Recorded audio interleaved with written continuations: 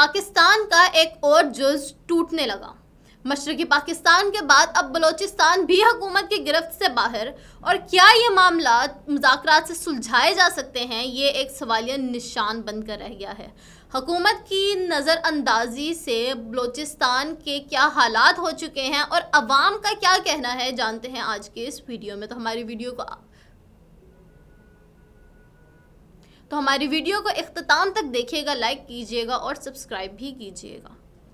नाजरीन, बलूचिस्तान के जो हालात हैं, वो आपसे वक्ता फ़वक्ता हम शेयर करते रहते हैं कि किस तरह की कशीदगी है, किस तरह की नस्ल कशी चल रही है वहाँ पे, किस तरह के एहतजाज एहतजाज हो रहे हैं और आवाम की क्या नफ्सियात है हकूमत को लेकर, अपने स्टेटस को लेकर और अपने लाइफ स्टाइल को लेकर अवाम में क्या महरूमियाँ हैं, वो किस एहसास कमतरी का शिकार हैं, वो ये समझते हैं कि हम तक तमाम फैसिलिटीज़ नहीं प्रोवाइड की जाती और जो पाकिस्तान है, वो सिर्फ़ पंजाब तक महदूद होकर रह गया है। इसी तरह इसीलिए वहाँ पे एथनिसिटी चल रही है, वहाँ पे आईडी कार्ड्स देख देख कर लोगों का कत्ल आम चल रहा है और आवाम की जो महरूमियाँ हैं, उनको सुनने वाला, उनको हल करने वाला कोई भी नहीं है। बलूचिस्तान के जो रिप्रेजेंटेटिव्स हैं, आवाम का ये कहना है कि वो हमारे हकूक़ हमें प्रोवाइड नहीं कर रहे और जो हमारी आवाज़ है, वो ऊपर ऊपर हुकूमत तक नहीं जा रही। या फिर अगर वो जा भी रही है तो उसके लिए कोई भी इकदाम नहीं उठाए जा रहे। और उनसे शहरीों से जब बात की गई है तो उनके तहफ़ात में सबसे बड़ी बात यह है, सामने आई है कि वो कहते हैं कि जो आम इंतबात के वक्त अगर आप देखा जाए तो आवाम जो थी, वो बहुत ज़्यादा पॉजिटिव थी। आवाम जो थी, उनके अंदर एक होप थी कि जब हमारे नुमाइंदे आगे आएँगे, हम खुद अपने नुमाइंदे नामज़द करेंगे, हम अपने वोट से उनको लाएँगे, जो हमारे हक़ के लिए बात करेंगे, जो हम तो फिर हमारे जो हालात हैं वो चेंज हो जाएँगे। हमारे ऊपर हुकूमत की तवज्जो बढ़ जाएगी। क्यों? क्योंकि हम अपने फेवरेट रिप्रेजेंटेटिव्स को जब हम खुद चूज़ करके लाते हैं ना तो एक चेंज वाक़ होता है। और आवाम को ये होप थी, पूरी पाकिस्तानी आवाम को ये होप थी कि एक चेंज आएगी, लाजमन आएगी। लेकिन जो हुआ आम इंतबात में वो सबके सामने है। अच्छा उसके बाद क्या हुआ? उसके बाद ये हुआ कि जब मुल्क गिर एहतजाजात शुरू हुए और आवाम को नज़र आने लगा कि जैसा हम सोच रहे थे, वैसा कुछ भी नहीं है। ये जो हमारे ऊपर सरकार बैठी है, इससे हमारे लिए कुछ नहीं करना, हमने अपने लिए आवाज़ खुद उठानी है। तो फिर जगह जगह सिर्फ़ बलूचिस्तान में ही नहीं, पूरे मुल्क में जगह जगह एहतजाजात शुरू हो गए अपने हकूक़ के लिए। और ये कशीदगी किस वक्त बढ़ी बलूचिस्तान में? ये हालात उस वक्त ख़राब हुए और खौफ हरास उस वक्त फैला अवाम में कि जब 20 दिन कबल अठारहवीं बरसी, अकबर भुगटी की अठारहवीं बरसी पर बलूचिस्तान में जगह जगह हमले किए गए। उनके एक रिप्रेजेंटेटिव जिसकी आठवीं, अठारहवीं बरसी थी, अठारह साल पहले उसको इसी तरह के किसी हमले में या फिर इंतशार में शहीद कर दिया गया था। ये पूरा एक वाक़ है नवाब अकबर भुट्टी का। किस तरह से उन, उसको मारा गया था और ये क्या सारा सीन है, वो आप सब जानते हैं। लेकिन उनकी अठारहवीं बरसी पर जब जगह जगह आवाम पर हमले किए गए, पूरे ज़िला भर में हमले किए गए और इसके नतीजे में रिपोर्ट्स के मुताबिक अड़तीस आम लोग, आम आवाम में से अड़तीस लोग और चौदह अहलकार शहीद हो गए। अच्छा उसके बाद क्या हुआ? उसके बाद यही हुआ कि फिर मुल्क गिर मुल्क गिर नहीं सूबे में, पूरे सूबे में जगह जगह फिर इंतशार बढ़ता चला गया। क्योंकि यह अठारह साल से एक एथनिसिटी चलती आ रही थी। और जब आवाम में एक एहसास महरूमी होती है ना, एहसास कमतरी होती है तो फिर वो बाहर निकलती है। वो लावा जो अंदर पकता रहता है, पकता रहता है, पकता रहता है, वो फिर उठ के बाहर निकलना शुरू हो जाता है और कुछ इसी तरह के ही हालात इस वक्त हैं बलूचिस्तान में। बलूचिस्तान, मशरकी पाकिस्तान बनता जा रहा है और अवाम ने इसको टॉलरेट करने से मना कर दिया है। अवाम का क्या कहना है इसके ऊपर? अवाम इस सब का कसूरवार ठहरा रही है हकूमत को, क्योंकि हकूमत नज़रअंदाज कर रही है उस सूबे को, उस सूबे के लोगों को, उस सूबे के हालात को। हकूम, अवाम का ये कहना है कि उन्हें सिर्फ़ यहाँ के वसाइल से फ़र्क पड़ता है, उन्हें यहाँ के लोगों से, तहजीब से, सकाफ़त से किसी किस्म का कोई फ़र्क नहीं पड़ता।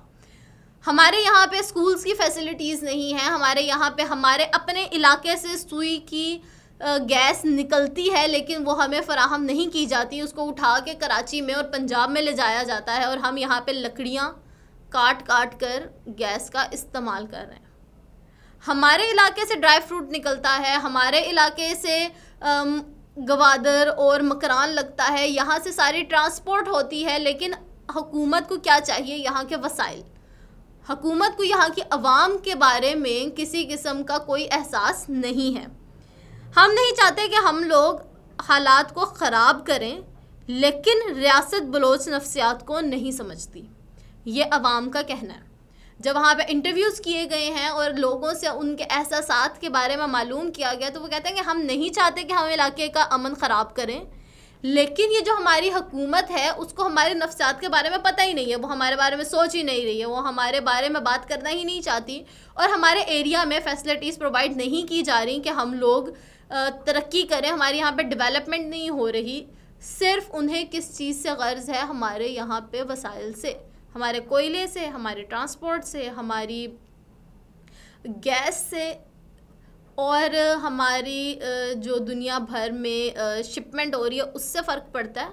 अवाम की नफ्सियात समझने के लिए कोई तैयार नहीं है कि अवाम की बेसिक नीड्स क्या हैं, वो भी पूरी नहीं की जा रही। बंदूक के ज़ोर पर हुकूमत करना कम अकली है। घरों में घुस कर जुल्म करेंगे तो उम्मीद ना रखेंगे, हम बदला ना लेंगे। जब हमारे घरों में घुसकर हमें जुल्म का निशाना बनाया जाएगा, जब हमारे घरों पर बमबारी की जाएगी, या फिर बंदूक के ज़ोर पर एक अवाम को चलाया जाएगा तो आप ये किसी किस्म की खुशफहमी में ना रहें कि हम उसको टॉलरेट नहीं करेंगे, हम उसका बदला नहीं लेंगे। ऑब्वियसली आप लोगों के घर पर हमला होगा तो आप बदला लेने के लिए बाहर निकलेंगे। आप लोगों को महरूम रखा जाएगा किसी चीज़ से तो वो एहसास कमतरी एक दिन बाहर निकलेगी। आप लोग सड़कों पर निकलेंगे। और जब आपको आपके तहफ़ फ्राहम नहीं किया जाएगा, आपके हकूक़ फ्राहम नहीं किए जाएँगे तो आप उसको छीनना शुरू कर देंगे। इसी तरह के कुछ हालात हैं इस वक्त बलूचिस्तान में भी। और बलूचिस्तान इस वक्त हमारा अटूट अंग करार दिया जा रहा है कि वो वक्त दूर नहीं है जब ये भी मशरक़ी बंगाल की तरह या फिर मशरक़ी पाकिस्तान की तरह पाकिस्तान से अलग हो जाएगा। और क्योंकि इसमें ईरान का क्लेम है? ईरान क्लेम करता है बलूचिस्तान को अपना हिस्सा और ईरान की तरफ़ से गिफ्ट किया गया है ये पाकिस्तान को। तो कहीं ऐसा ना हो कि ये उन्हीं के हिस्से में चला जाए।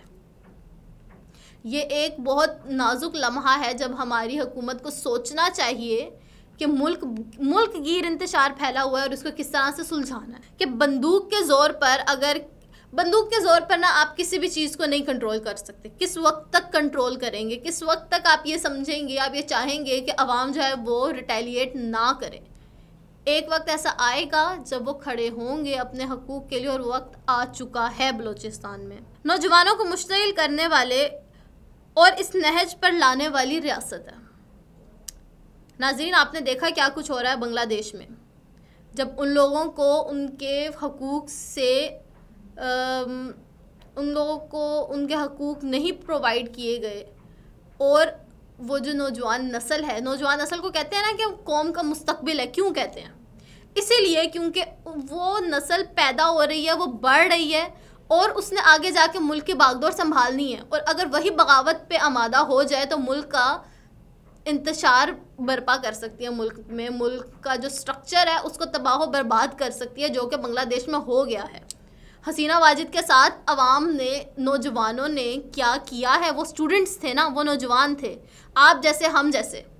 उन्होंने क्या किया है? उसकी हुकूमत के साथ कुछ इसी तरह का होता हुआ पाकिस्तान में भी नज़र आ रहा है। और ये सिर्फ़ बांग्लादेश की बात नहीं है, ये सिर्फ़ बलूचिस्तान की बात नहीं है।